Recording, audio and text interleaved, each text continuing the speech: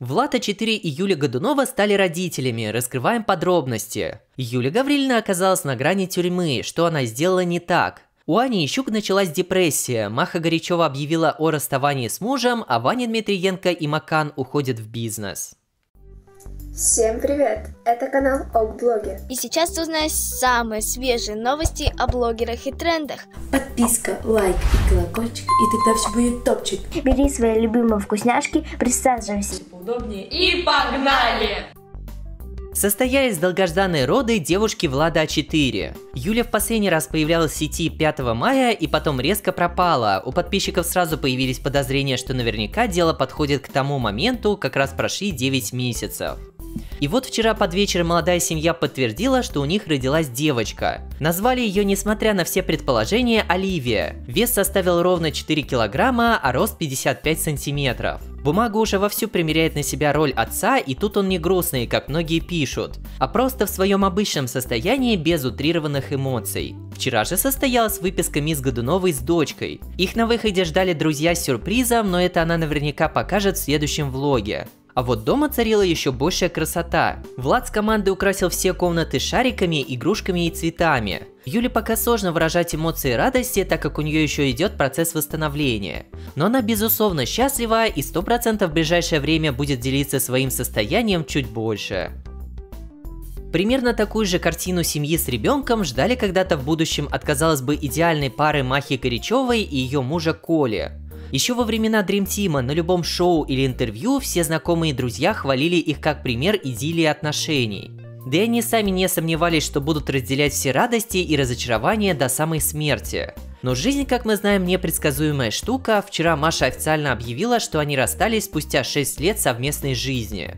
Точные причины, как мы уже привыкли, на публику не выносятся, но определенные намеки девушка дала. Она по сути не сказала ничего положительного в адрес Коли, а также добавила – Почему? А вы разве не знаете, как это бывает? Я не знала, но этот урок запомнила надолго. И конкретно эту формулировку почему-то восприняли как возможную измену. Но это чисто догадки подписчиков, произойти в реальности могло все что угодно. Помните, я вам рассказывал о возможном пиар-ходе сериала «Постучись в мою дверь» в Москве? Тогда по пабликам и СМИ для спасения рейтингов пустили утку, что якобы главные герои актеры Никита Волков и Лиана Гриба влюбились друг в друга в реальной жизни. Многие сразу распочухали вранье, так как у обоих коллег есть почти полноценные семьи, а у Никиты вообще ребенок. Но продюсеров даже это не остановило. Опять же в отдельных изданиях более чем уверен, что за деньги разместили инфоповод, что якобы жена Волкова на одной из тусовок в конце прошлого года подралась и получила травмы от Лианы, конфликт начался за ее подкаты к мужу. Пишут даже, что есть заявление в полицию, но его копию почему-то не приложили, хотя такое всегда всплывает. В этот цирк еще оперативно вплелась менеджер Грибы, которая заявила, что это фейки, никакой драки не было. Они даже писали ответные заявления, чтобы прояснить следователю всю суть инцидента. И самая главная странность, что все это не всплыло сразу в декабре, когда случилось, хотя народу на вечеринке было много. А вспомнили об этом в день премьеры сериала на телеке. В общем, советую вам в этот бред не верить, что только сейчас не придумают для лишнего пиара. Ни для кого не секрет, что популярные артисты зарабатывают большие деньги. Например, тут вскрылась эксклюзивная информация ценника корпоратива группы «Три дня дождя». Если вы вдруг захотите послушать Глеба и его банду вживую, например, на дне рождения, то придется выложить порядка 5 миллионов рублей. Это, кстати, еще средний ценник по стране, но для обывателя точно высокий. Не меньше наверняка просит за такие мероприятия автор пацанских цитат Макан. Но ему сейчас больше интересен бизнес и открытие дополнительных направлений для заработка. В понедельник Андрей неожиданно объявил, что открыл собственную доставку цветов, пока только по Москве. Прокомментировал события в своем стиле. Я еще не написал свою, но знаю, как сделать вашу историю любви неповторимой. Помните, иногда цветы говорят громче слов. Цены в цветочном исполнителе средние или чуть выше среднего по Москве. Поэтому покупатель скорее всего найдется, но конкуренция в этой сфере большая, все может закрыться достаточно быстро. В бизнесмены в свои 18 лет решил поиграться и Дмитриенко, о чем он поведал в новом интервью. В этом плане на него сильное воздействие произвел более опытный артист Сергей Жуков. У него у самого в крупных городах есть бары, которые ему помогали открывать профессионалы своего дела. Ваню он тоже с ними свел, поэтому парень планирует открыть свой ресторан или бар, но идею пока держит в секрете. Ну да, мы планируем открывать одно заведение крутое. Под присмотром кого? Естественно. Сережа Жука. Конечно. Это он меня свел с людьми, которые в меня поверили. Меня свел с человеком, который помогал и помогает ему с его барами и поможет мне с моим заведением. Что это, я тоже пока что не хочу раскрывать. Также Дмитриенко не афишировал, что обновил свой автопарк. Он продал все старые машины и на их место купил для каждодневных передвижений удобный китайский паркетник Ли 9. Ну и где-то в гараже для куражных выходных стоит BMW M5, которую он палить не стал, видимо, чтобы его не преследовали. В разговоре с журналистом Ваня еще порадовал всех фанатов сериала Плакса, который давно продлили на второй сезон. Его персонаж там снова появится и в новом формате с полноценной любовной линией. Скорее всего, это будут продолжения взаимодействия с героиней Ники Жуковой. Но подробности для интриги раскрывать Дмитриенко пока не стал.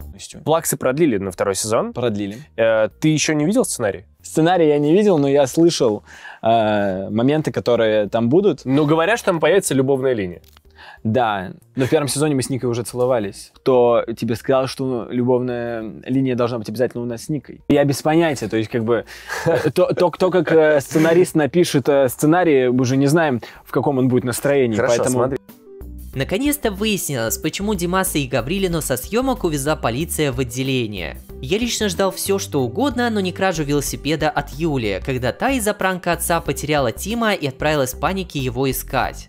Все это по итогу чуть ли не дошло до реального заявления и последующего суда. Такой велик стоит 1020, если не больше, и наказывается в лучшем случае штрафом, а в худшем до двух лет лишения свободы. Для Юли можно, конечно, придумать кучу оправданий, но она действительно совершила ошибку, брать чужое никогда нельзя. Хорошо, хоть все благополучно закончилось и хозяйка транспорта пошла навстречу. Я вам лично на будущее советую даже не подбирать найденные кошельки с деньгами на улице, так как это тоже могут принять за кражу. Недавно на трассе в Москве мотоциклист выронил на трассе кошелек, в котором находилось 400 тысяч рублей. Это как-то заметил водитель «Газели», остановился и забрал находку себе, хотя стоило позвонить в полицию. В итоге возбудили дело о краже, теперь мужчину ищут по всему городу. И скорее всего найдут, ведь номера и личность известна. И за такую сумму его реально на пару месяцев или даже год посадят, хотя он мог поступить достойно и чужого не брать. В семье Ларионовых тем временем накопилась куча проблем. Если вы следите за их соцсетями, то наверняка слышали, что у Тео с рождения были проблемы с глазиком, нашли необычное воспаление. Врач прописал капли, которые, к сожалению, не помогли, поэтому пришлось прибегнуть к небольшой операции, на которой родителям даже нельзя было присутствовать, они только слышали плач сына. Все, унесли. Сказали, три минутки надо подождать. С Тимом такого ни разу не было, чтобы мы его Ну да, отдавали. стремновато.